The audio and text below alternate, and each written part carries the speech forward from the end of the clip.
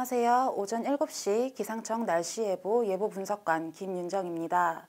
오늘 아침은 어제만큼 쌀쌀하겠는데요. 자세한 날씨 자료를 통해 살펴보겠습니다.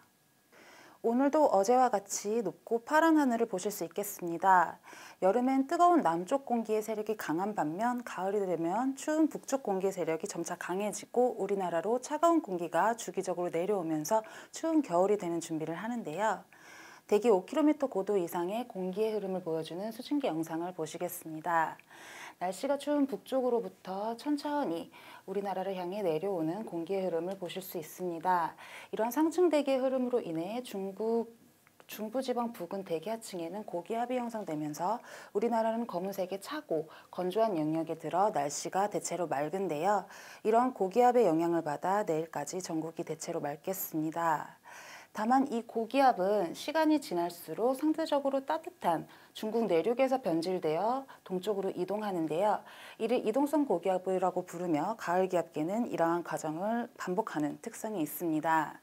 내일 오후가 되면 이러한 기압 배치와 차고 건조한 공기가 백두산을 비껴 내려오면서 형성된 고기압으로 인해 우리나라 동 강원 영동과 경상 동해안에 동풍이 불어들면서 하층운이 유입되어 구름이 많아지겠습니다.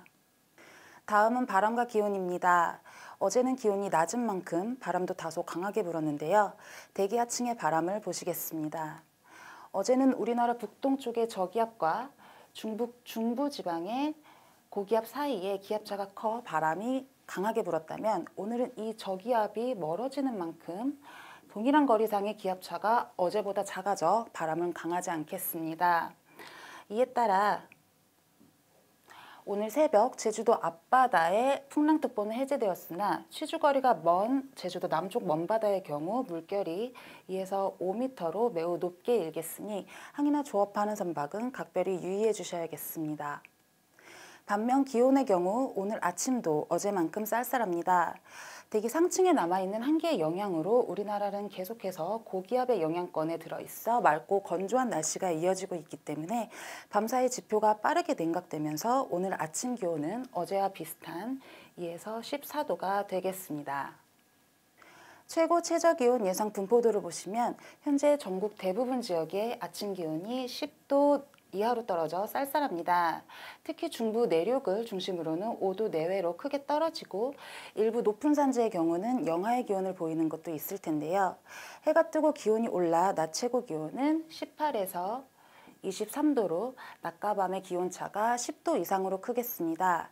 특히 아침 기온이 크게 떨어지는 중부 내륙의 경우 낮과 밤 기온차가 15도 내외로 더욱 크기 때문에 해당 지역의 기온을 잘 체크하셔서 건강관리에 유의해 주시기 바랍니다.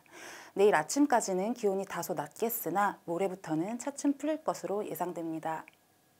마지막으로 낮은 아침 기온으로 인해 발생 가능한 기상 현상에 대해 말씀드리겠습니다. 중부 내륙과 전북 동부, 경북 북동 산지를 중심으로 모레까지 아침 기온이 5도 이하인 지역에서는 서리가 내리는 곳이 있을 텐데요.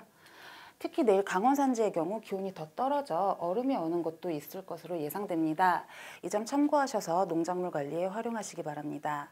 또한 밤사이 지표 냉각으로 인해 아침 안개 걱정도 많이 하실 텐데요. 현재 우리나라는 대기 하층이 건조하기 때문에 아주 짙은 안개는 아닐 것으로 예상되며 강원 영서와 충북, 전남 내륙에 가시거리 1km 미만의 안개가 끼는 곳이 있겠습니다. 지금까지 기상청 날씨에 보였습니다.